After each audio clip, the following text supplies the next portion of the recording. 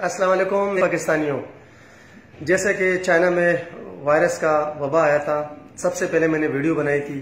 तो उस पर मुझे लोगों ने बड़ा क्रिटिसाइज भी किया था, किसी ने अप्रिशिएट किया था। मीडिया ने, मेरे डॉक्टर्स कम्युनिटी ने, बहुत सारे लोगों ने मुझे क्रिटिसाइज किया था कि आप डॉक्टर साहब ऐसे वीडियो बना रहे हो।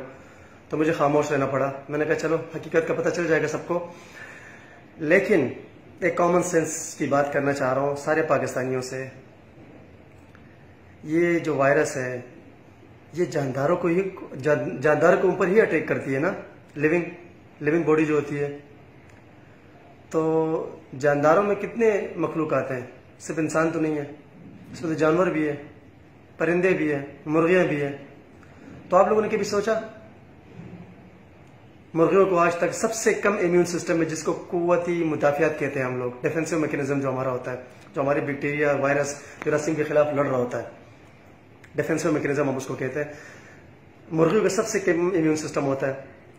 वो तो आज तक मुतासर नहीं हुए। उनको भी सैनिटाइज करना चाहिए, उनको भी मास्क पहनाने चाहिए, उनको भी सोशल डिस्टेंस में रखना चाहिए। नहीं। सोचे जरा।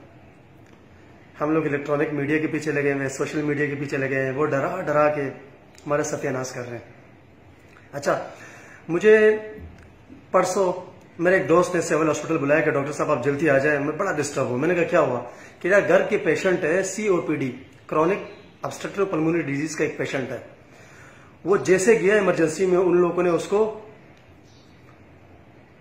कोरोना वायरस के वार्ड में रख दिया क्वारंटाइन में। और ये कहा, उसके नज़दीक भी नहीं जा रहे डर रहे उससे। तो मैं गया, मैं अंदर जाने की कोशिश की तो मुझे रोका। मैंने कहा मैं डॉक्टर मुझे जाने दे। तो फिर मैं गया अंदर। मैंने उनको चेक किया। और पेशेंट पड़े हुए थे यार, यकीन माने उनके, वो अपनी बीमारी से नहीं मरेंगे। जितना हाइप क्रिएट किया है मीडिया ने, हमारे जो सन डॉक्टर्स हैं, उन लोगों ने जो हाइप क्रिएट किया होते हैं, अपने आप को पूरा सिक्योर करके उसके पास जाते हैं। जैसे वो कोई, पता नहीं कौन सा वायरस है कि इसके ऊपर चपक के एकदम उसकी सांस ले लेंगे। यार बड़ा अफसोस होता है। सीओबीडी के पेशेंट अपर जीआईटी के जो पेशेंट होते हैं, या एस्थमेटिक के पेशेंट जो होते हैं, उनको भी उस लिस्ट में ला के बिठा दिया। और यकीन माने, आप माइंड को जैसा मैसेज दोगे ना, वैसे आपकी बॉडी रिएक्ट करेगी। तो जब आप उनको बोलते हो ना, कि आपको ये बीमारी है, वो बेचारा डर के मारे, फौत हो जाती है उनकी, मर जाता है वो, क्योंकि हार्ट बीट डर की वजह से तेज होता है ब्लड प्रेशर हाई हो जाता है तो सारे सिस्टम इम्बेलेंस हो जाते हैं तो बंदे की डेथ हो जाती है। तो खुदा रहा आम पेशेंट को भी टेस्ट लिस्ट में ना डालें। आप लोगों को पता ही नहीं है, आप यकीन माने किसी मलेरिया और टाइफाइड के पेशेंट का ब्लड टेस्ट करवा दो, वो भी पॉजिटिव डिटेक्ट आएगा। कौन सी किट्स बनाई हुई है आप लोगों ने? अब इसके ऊपर भी लोग लग जाएँगे, मेरे पीछे वीडियोस बनाने लग जाएँगे। क्या डॉक्टर साहब को क्या हो गया? ये एक बायोलॉजिकल वार है, मैं पहले भी बता चुका हूँ अमेरिका, ये स्टार्ट कर चुका है चाइना की इकानमी को डिस्ट्रॉय करने के लिए। और चाइना को इस बारे में पता लग चुका है। इसकी स्टेटमेंट भी पड़ी हुई है। आप ओबामा की स्टेटमेंट देख ले, इस वायरस के बारे में। अगर किसी को की नहीं है तो मैं उसको सेंड भी कर दूँगा पर्सनली बुश की देख लें। बिल गेट की चैरिटी फाउंडेशन से सबसे ज़्यादा पैसा किया है।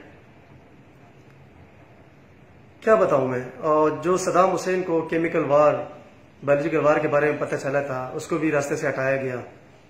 ये सारी चीज़ें हमारी आँखों के आँखों के सामने। और ये जो हमारी गवर्नमेंट है, ये तो अकल की नाखून ले, खासकर कराची वाले। सबसे ज़्यादा रेवेन्यू जनरेट करने का जो सूबा है वो कराची है, क्योंकि पोर्ट है यहाँ पर सबसे ज़्यादा रेवेन्यू जनरेट करके दे रहा है। और हम लोगों ने लॉकडाउन लगा दिया। आप लोगों ने कभी सोचा है हमारी मैशत कहाँ गई? आप अपना अपना मुआवजा, उन तरक्याफ्ता ममालिक से मत करें। उनके पास बहुत पैसे हैं। उनकी इकोनॉमी बहुत स्ट्रांग है। और आईएमएफ ने सिर्फ़ और सिर्फ़ ऐलान किया आईएमएफ ने, कि हम जो भी मुल्क कोरोना वायरस से अफेक्टेड है, हम उनको इतने इतने अरब रुपए की तावन करेंगे उनके साथ। तो जहाँ छह महीने में पाँच महीने में, चार महीने में या पाँच दिन में सॉरी छह महीने में नहीं, पाँच दिन में, जो तादाद थी कोरोना वायरस की, वो तीन चार थी। और जैसे ये ऐलान हुआ तो एकदम लाखों में चली गई। चाइना में भी क्रॉस कर गई। खुदारा खुदारा, अपने लोगों को मत गुमराह करें। स्पेशली मीडिया ये झूठा मीडिया जो है, ये इलेक्ट्रॉनिक मीडिया जो है, इनको भी रिक्वेस्ट करता हूँ कि प्लीज़ लोगों को ना गुमराह करें। आम पेशेंट होते हैं, उनको कोरोना वायरस का लेबल लगा के उनकी बीवियाँ भी उनके साथ रहना पसंद नहीं करती, उनके खानदान में उनसे भाग जाते हैं। एक दो दो साल तक मुझे नहीं लगता कि उनसे कोई हाथ भी मिलाए फिर। तो ना करें, लोगों के साथ ना खेलें। और ये जो पोर्ट है, कराची का, प्लीज़ इसको ओपन कीजिए। क्योंकि अगर आपको 50 अरब का कर्जा मिलेगा ना तो पर डे की जो आप नुकसान में जा रहे हो डॉलर कहाँ तक पहुँच है, इसके भी जरा देखो, कितने अरब के लॉस में आप आ रहे हो। आप ले तो रहे हो, लेकिन उसको फिर कर्जा आप लोग को वापस करना पड़ेगा। तो अपनी इकोनॉमी का ख्याल रखें, और ये परिंदों से, मुर्गियों से ऐसे थोड़ा कॉमन सेंस लें, कुछ भी नहीं है। और मेरे ख्याल में, वैसे ही पाकिस्तान में आम बीमारियों से जितने लोग मरते हैं, उतना इससे नहीं मरते तो थोड़ा सा अकल के नाखून ले। मेरी बात किसी की भी बुरी लगी हो, मैं किसी को जवाब देना पसंद नहीं करता। अपनी एक ओपिनियन थी जो सच्चाई के बेस पे मबनी है। मैंने एक्सप्लेन कर दी अपने पाकिस्तानियों को। अलैक्म